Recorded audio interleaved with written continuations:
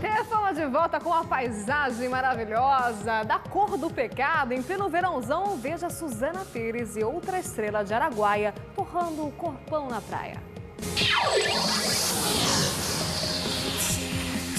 Dessa vez, o nosso paparazzo flagrou Suzana Pires numa praia do Rio de Janeiro.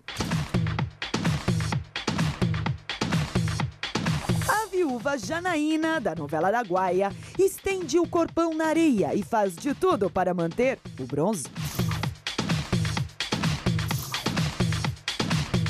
Para quem não se lembra, Suzana disse que chegou até a fazer bronzeamento artificial para manter a característica de sua personagem na novela.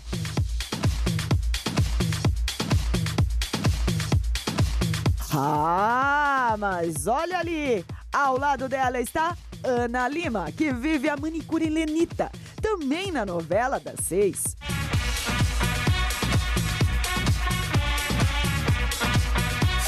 Chega de assar. Agora é hora de ficar molhadinha.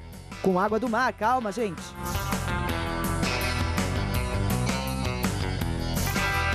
As moças se divertem muito nesse belo dia de sol no Rio de Janeiro. Ela também brinca com o filho mais novo.